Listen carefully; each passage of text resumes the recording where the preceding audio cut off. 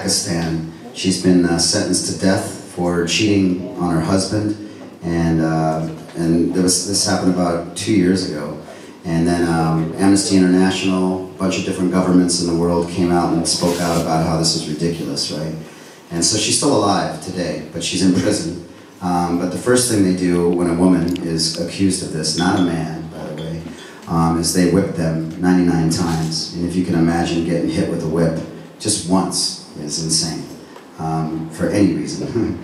um, 99 times for supposedly cheating on your husband, right?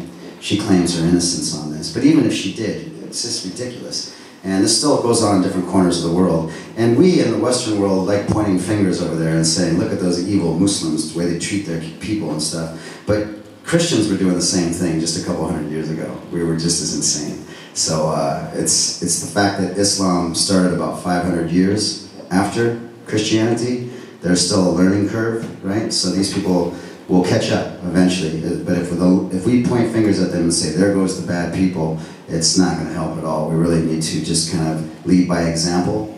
And in America, I'm, I'm sad to say that uh, leading by example is what child pageants. We have little kids dressed up as strippers mm -hmm. in, in game shows so they can win prizes.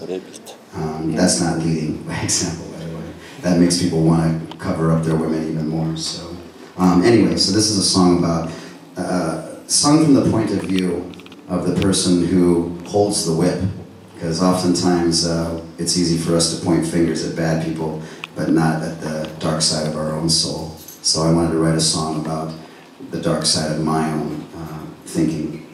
And it's just about uh, political prisoners all around the world, I guess, that are still behind bars because they stood up for what is right. And uh, so that's that.